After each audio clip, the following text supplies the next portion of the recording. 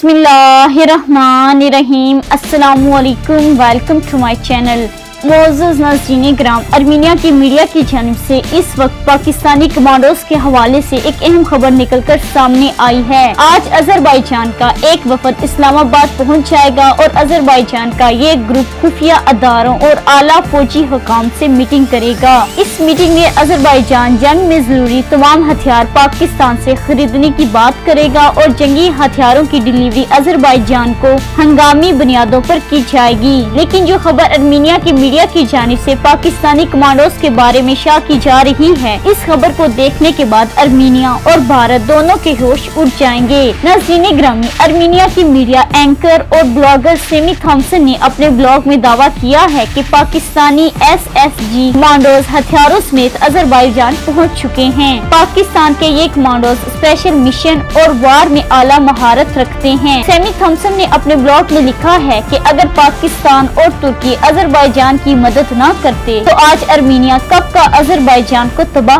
کر چکا ہوتا۔ مشہور ارمینیا کے بلاگر سیمی تھامسن کی جانب سے پاکستانی کمانڈوز کی ایک ویڈیو بھی جاری کی گئی ہے، جس میں وہ دعویٰ کر رہی ہیں کہ پاکستانی کمانڈوز ازربائی جان کے ان علاقوں میں داخل ہو چکے ہیں، جن پر ارمینیا اور ازربائی جان دونوں کا قبضہ ہے۔ تو ناظرین محترم، آج کے لیے بس اتنا ہی۔ اگر ویڈیو پسند آئی ہو تو ویڈیو کو لائک کریں اور ہمارے چینل فری زون کو سبسکرائب کیجیے تو انشاءاللہ ملتے ہیں نیکسٹ ویڈیو میں۔ تب تک کے لیے اللہ حافظ۔